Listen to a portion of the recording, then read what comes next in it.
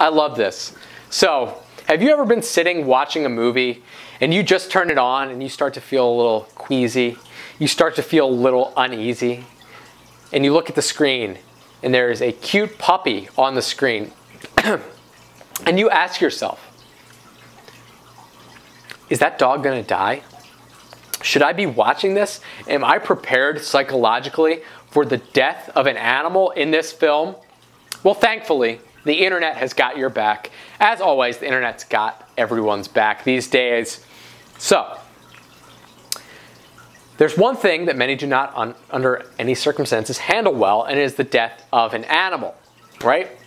So here's the website. It's called Does the Dog Die? And it is a simple site for pet-loving movie buffs who cannot stand to either see animals die in a movie or not be prepared to see them in a movie. So it's very simple. It's got all the films you would expect in there. It's got your Old Yeller, your Wizard of Oz. They're both spoiled. All kinds of good stuff like that. Pretty hilarious though. So it's got this rating system. It's cool. So it's got three different icons. One is a happy smiling dog and it says no pets die. One is a kind of sad, frowning dog, and it says a pet is injured or appears dead but ultimately lives. So, yeah, a little better, might be okay for you.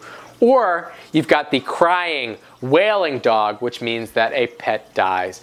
So if you're worried about upsetting yourself or your children or your significant other, you can always go to the website. It's called doesthedogdie.com. Type in the movie that you're going to see, and you will know with a clear conscience what is going to happen prior to turning that movie on.